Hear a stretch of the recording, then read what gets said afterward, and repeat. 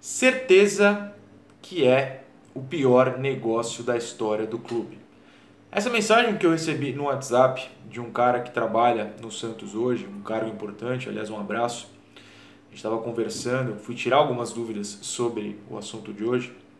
Essa frase resume né, o que foi a contratação de Leandro Damião em dezembro de 2013.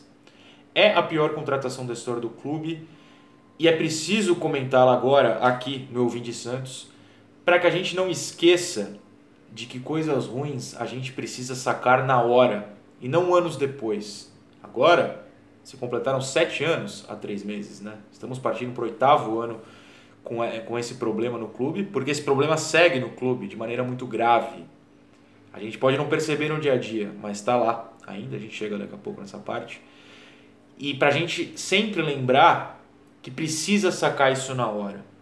O humano, o humano, o ser humano, nunca percebe, ou quase nunca percebe, algo ruim quando ele acontece de fato. Precisa passar um tempo para ele olhar para trás e perceber o tamanho do problema que ele se encontrava. No futebol, uma das funções desse canal é tentar mostrar na hora. É ser o chato mesmo. Apontar, gente, tá ruim, isso aqui é errado. Eu sei que estão tentando falar que é bom, mas isso aqui é ruim. O ouvinte Santos explodiria em dezembro de 2013, porque eu ia desde o primeiro segundo falar, como eu falava na época com meus amigos, gente, isso aqui é um crime contra o Santos, o cara é ruim, isso vai dar ruim, vai dar errado. E eu via de volta, ah, você é chato, vai dar certo, Damião, bigode grosso. Deu muito errado. É a pior negociação da história do Santos e mais, é a pior negociação da história de um clube brasileiro. Eu não vou falar do mundo porque tem muita coisa bizarra por aí. No Brasil, não teve contratação pior. Você vê que até meu vizinho ficou irritado, soltou um buzinaço, porque é uma contratação que incomoda a todos. Parabéns, vizinho. Para a gente começar a falar de Damião, vamos por partes. Vamos por partes. A contratação foi feita, estou olhando no meu caderninho aqui, no dia 16 de dezembro de 2013. O presidente à época era Odílio Rodrigues. Odílio Rodrigues era o vice de Laor, Luiz Álvaro de Oliveira Ribeiro, o melhor presidente que o Santos teve na minha vida. Eu nasci em 1990, então compare com os outros é, dessa época. O Laor já não estava em grandes condições de saúde, é, enfim, não conseguiu terminar o seu segundo mandato, para o qual foi reeleito, e o Odílio assumiu. Odílio, se você pensar só nessa contratação, para mim, é pior que José Carlos Pérez, é pior que Modesto Roma, é pior que o Marcelo Teixeira, estou citando todos, né? É pior do que Samir Abdulhak, outro que pegou comigo em vida. Foram esses.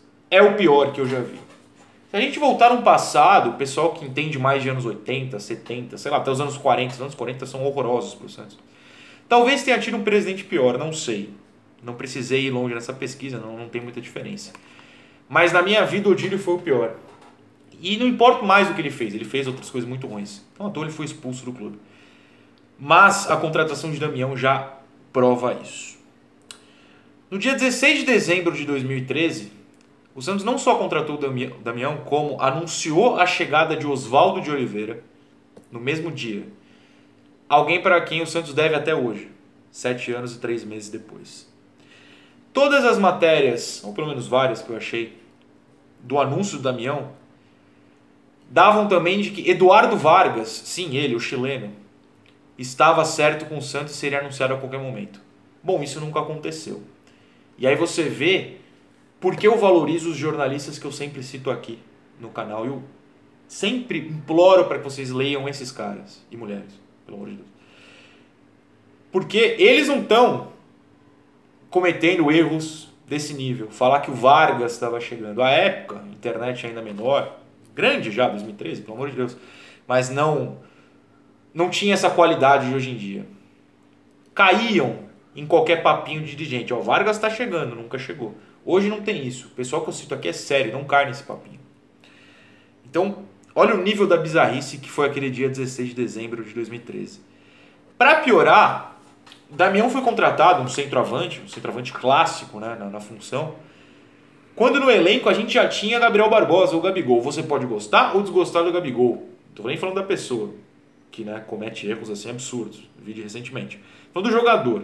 Jogador é um cara que para mim tava no Santos até hoje. Ah, mas jogador, o cara é bom, velho. E já era bom naquela época. afundaram o Gabigol no banco porque pagaram. Daqui a pouco chego nos valores. Estou fazendo toda uma abertura aqui. Pagaram para contratar o Damião. Oswaldo de Oliveira topou essa ideia e escalava o Damião. Que, claro, foi pífio, só atuações pífias. E Gabigol demorou a explodir também por isso. Então, quando falam, não, porque o Santos sempre dá oportunidade à base, a torcida apoia, mentira. Não, tem vídeos, vários, sobre isso aqui no canal. Tem um só sobre isso, muito específico para os membros do canal. Se quiser virar membro, por favor, adoraria. Se não quiser, tá tudo bem, vocês sabem. A época, a cobrança para o Gabigol ser titular no lugar da Damião era muito baixa na torcida. Eu sou um cara que, que roda o Vila Belmiro fora, dentro, assisto o jogo em vários lugares, assistia à época, né, claro. Conversava com pessoas. Se o canal tivesse aqui, tivesse vivo à época, ia ser melhor ainda, porque eu ia ver a reação de todos vocês à época, porque eu ia falar, pelo amor de Deus, gente, tirem o Damião desse, do time, tirem ele de campo, botem o Gabigol, vamos evoluir esse cara.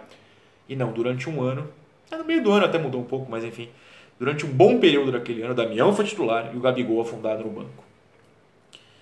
Contratação não fazia sentido nem no campo, né? A gente tinha um centroavante muito mais moderno e muito mais jogador do que o Damião, sendo revelado e que podia ser útil não foi a época. Quer dizer, ele foi útil. Né? Os números do Gabigol já são bons naquele, naquele ano, 2014 no caso. Melhores que o do Damião, mas poderiam ter sido melhores se não fosse a situação. É só você pensar na Copa do Brasil de 2014, quando o Gabião, o Gabi, Gabião é ótimo, né? A mistura. O Gabigol já era titular naquela Copa do Brasil, que o Santos quase elimina o Cruzeiro, campeão de tudo. Campeão brasileiro, bicampeão brasileiro. E o Damião não era nenhuma peça útil mais. Mas enfim, a contratação era totalmente inútil. Mas por que eu estou falando disso hoje? Porque no final de semana, Rodrigo Capello, ótimo jornalista do Globoesporte.com, sempre na redação Sport TV, um programa que eu adoro, publicou no Twitter uma, um print de uma matéria dele na Placar de março de 2014. Março de 2014. Três meses depois da contratação, em que ele ia pelo caminho que eu gosto. Tem que ser chato mesmo, tem que apontar que está errado, tem que falar, torcedor, você está sendo enganado. Ele foi lá e fez na placar. A matéria supostamente não estava na internet, mas eu até conversei com o Rodrigo e falei, não, mas tá, achei. Tem a placar da época, tá. Tem, tem um, um print da matéria, um ótimo print, inclusive, tá digitalizada na, na internet. Então eu tô lendo aqui a matéria. Inclusive, se você quiser o link, bota nos comentários aí que eu acabo jogando depois. eu vou esquecer, eu sei disso. Então eu pego o computador aqui do lado para ler trechos que vão pontuando o quão bizarro, já mostrei o quão bizarro é a contratação. Pode não parecer, mas a transferência de Leandro Damião do Inter para o Santos, a mais cara entre clubes brasileiros, eu vou pular o valor, daqui a pouco chego lá, muda as regras do jogo no futebol brasileiro. O Capelo, três meses depois, cantou uma bola de que a gente sofreria até hoje e sofre até hoje, judicialmente, por causa daquela bizarrice. A Doyen Sports, com a qual o Santos briga na justiça até hoje, uh, enfim, fundo britânico, blá blá blá, é, buscou a transferência, bolou uma fórmula na qual ela mais se parece com um banco do que com um agente de atletas. O Santos, antes vitrine de jogadores de terceiros, assumiu um risco financeiro que pode ser devastador em médio prazo. Devastador a médio e já longo prazo. O Capelo bancou que ia ser devastador ao Santos três meses depois de um contrato de cinco anos. Em três meses já tinha matéria publicada na Placar, uma das mais prestigiadas revistas da história do país, esportivas, que ia dar ruim. Falando português, claro. Deu ruim.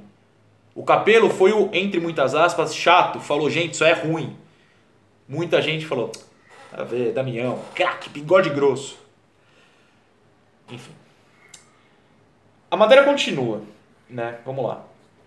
É, ele vai explicando como a Doen se registrou em Malta, mesmo sendo britânica, porque é um paraíso fiscal, você paga menos imposto, tal, tal, tal. Enfim, essas questões que eu não manjo muito, mas quem tem interesse pode pesquisar.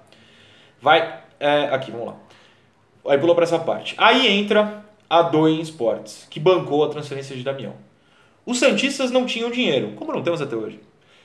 O fundo se dispôs a pagar o valor que daqui a pouco eu chego, eu quero assustar. Que o Inter pedia. Mas não quis nenhuma parte dos direitos econômicos do atleta.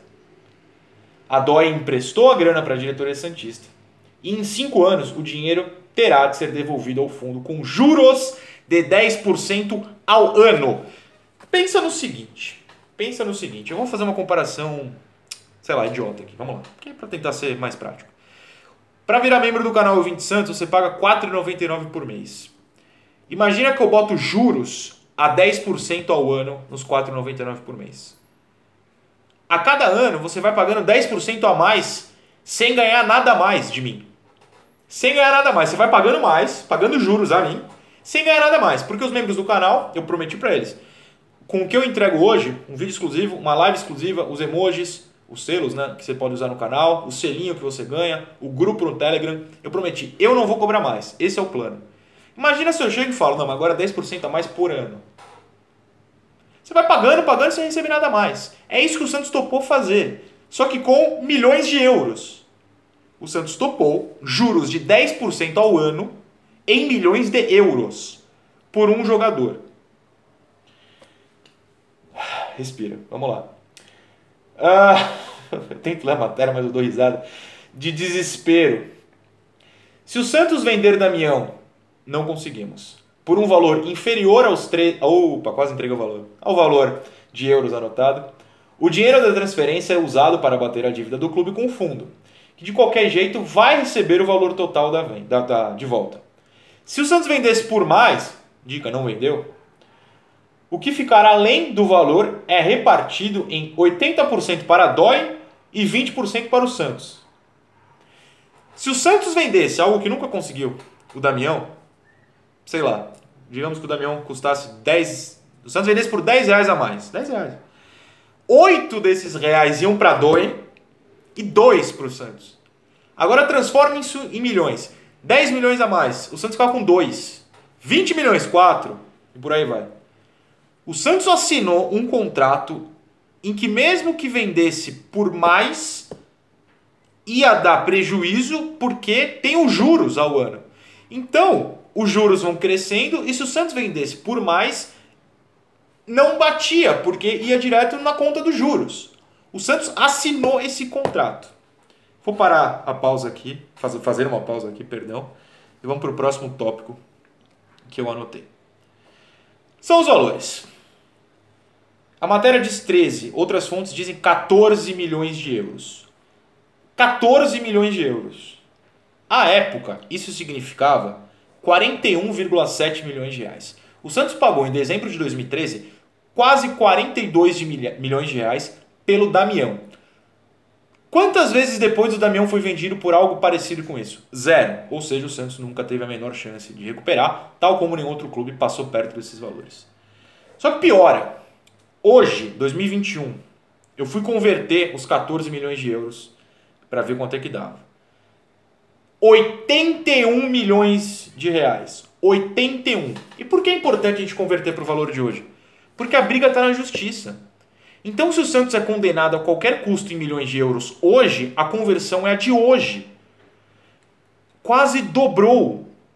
De tanto que o real está desvalorizado no mundo quase dobrou. Então, qualquer derrota do Santos na justiça, num resumo porco, o Santos é obrigado a pagar o dobro do que já era em 2013, quando contratou. Sente o nível do drama. Uma pausa. O Santos contratou o Damião e fez uma das coisas mais ridículas da história do clube, que foi aquela apresentação do bigode grosso com ele andando de bonde. O Damião de fato foi um bonde. Grande, lento, inútil, tanto que né, o único bonde que anda em Santos é o de passeio no centro histórico. Não é um transporte útil. Damião foi isso, um bonde.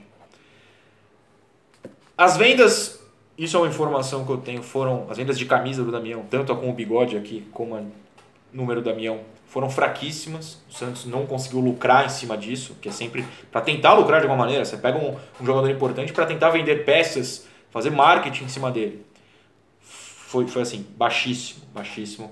Nunca conseguimos lucrar, opa, lucrar nem um pouquinho. Mas piora, piora. Eu vou para um novo trecho da matéria. Abre aspas. É um negócio muito bom para o clube. porque ele se responsabiliza por indicar o jogador que ele quer e nós só colocamos o dinheiro. Fecha aspas, diz Renato Duprá, representante da DOI no Brasil. Você reconhece esse nome? Reconhece, se não a gente te conta. Primeiro por isso, Duprá é uma figura controversa nos bastidores do futebol brasileiro. Na década de 90, ele trouxe o patrocínio da Unicor, da qual era herdeiro ao Santos. Vocês se lembram disso? Anos 90. É.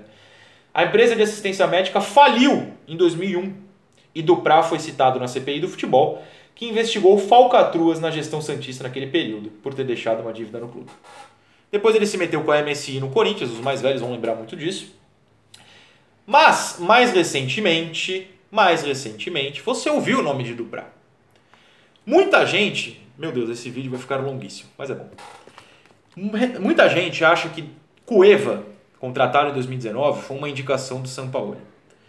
Não adianta tentar negar isso, mesmo sendo uma mentira, porque eu já tentei várias vezes aqui, mas os Zap, os Facebook santistas, batem nessa tecla para culpar o argentino.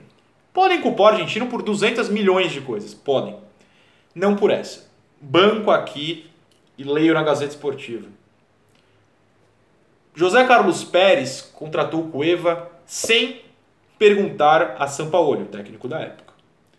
Matéria na Gazeta Esportiva de 20 de julho de 2020. Vazamento aponta a participação de Duprá em contratação de Cueva pelo Santos.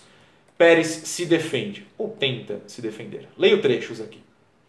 Renato Duprá intermediou a negociação que culminou com a contratação de Christian Cueva pelo Santos em 2019.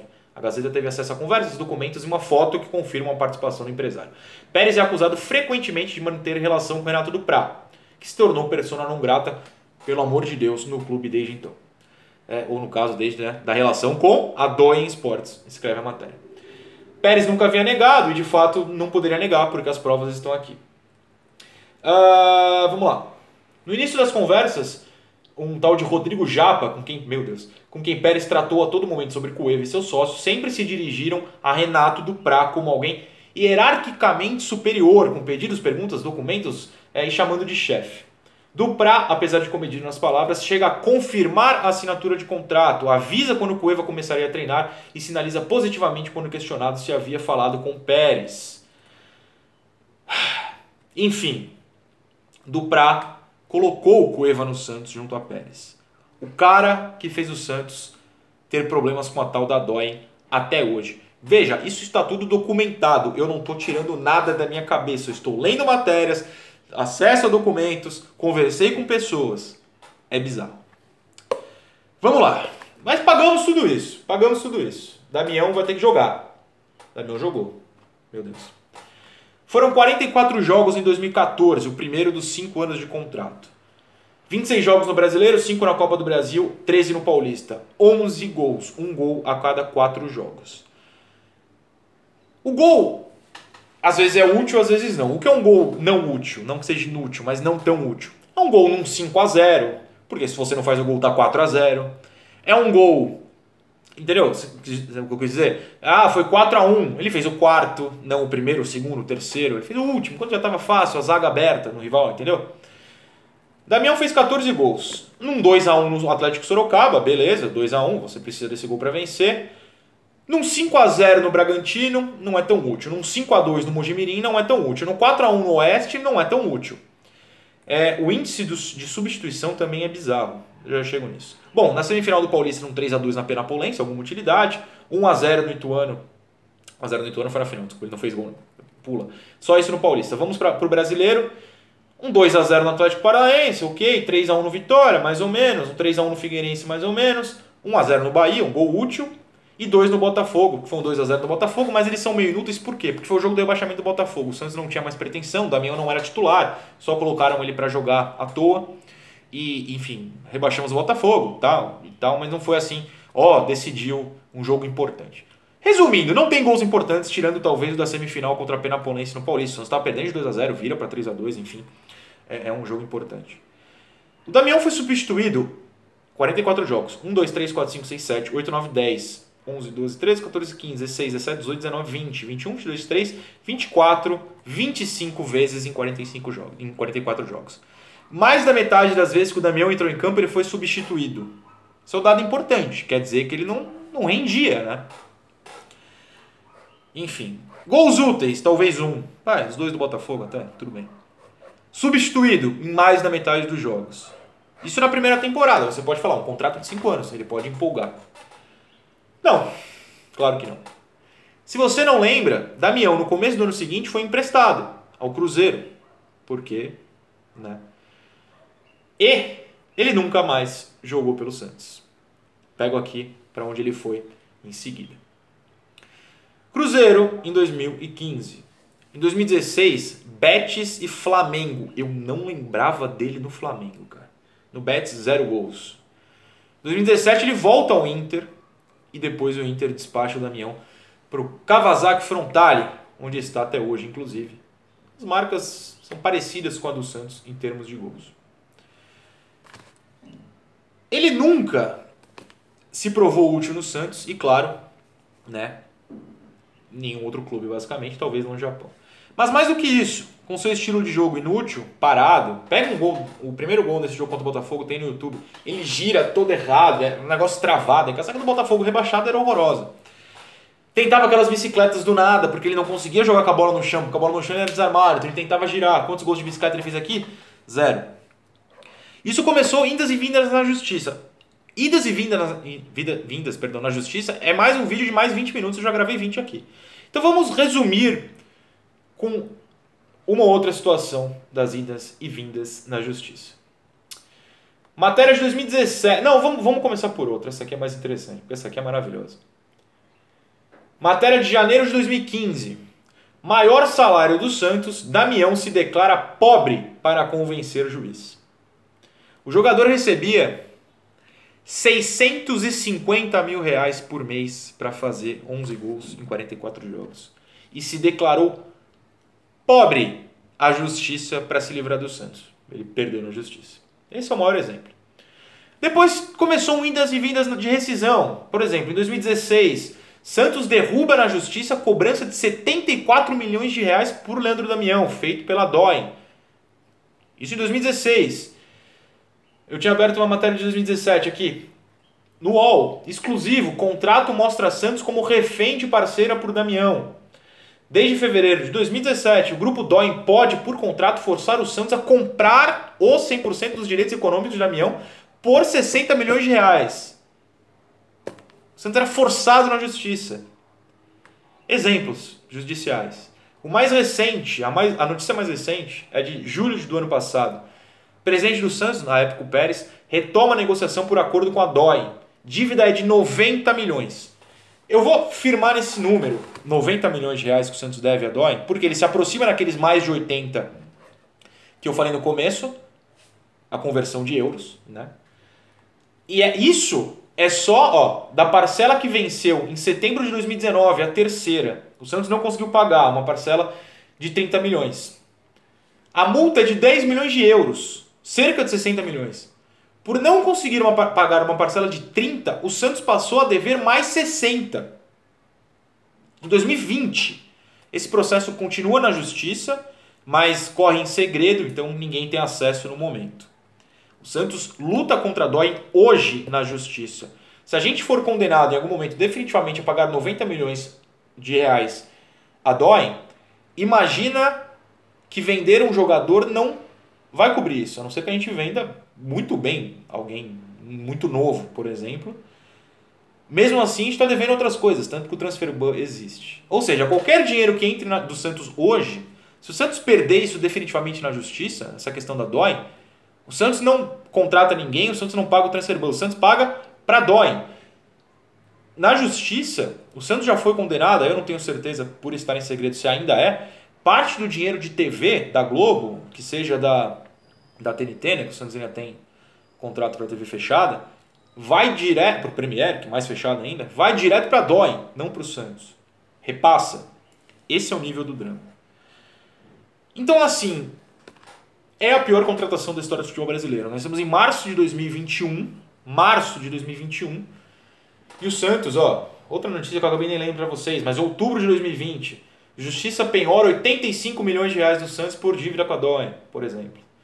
É, é, Até hoje, a qualquer momento, a gente pode acordar, a justiça resolveu julgar e o Santos está devendo 85, 90, sabe Deus quantos, a dói. A qualquer momento, depende da, da conversão de euros do dia. Então, assim, entendeu por que é a pior contratação do Santos? Eu tentei fazer um resumo e deu 25 minutos de vídeo. O Santos foi. Eu não posso falar certas palavras, então vou me poupar, mas vocês entenderam. O Santos está quebrado por culpa de quem nem está no clube mais. Percebam, tentem perceber na hora quando estão prejudicando o Santos. Contem comigo para apontar, tá bom? Ser chato, como o Capelo foi chato na matéria. Quem estava certo? O Capelo. Qual a minha busca ao ser chato? É tentar mostrar que tem coisa errada que a gente não pode deixar passar batido. Espero que tenham gostado desse vídeo, pelo menos das explicações. Não das condições mostradas, que claro, são tenebrosas. Tchau.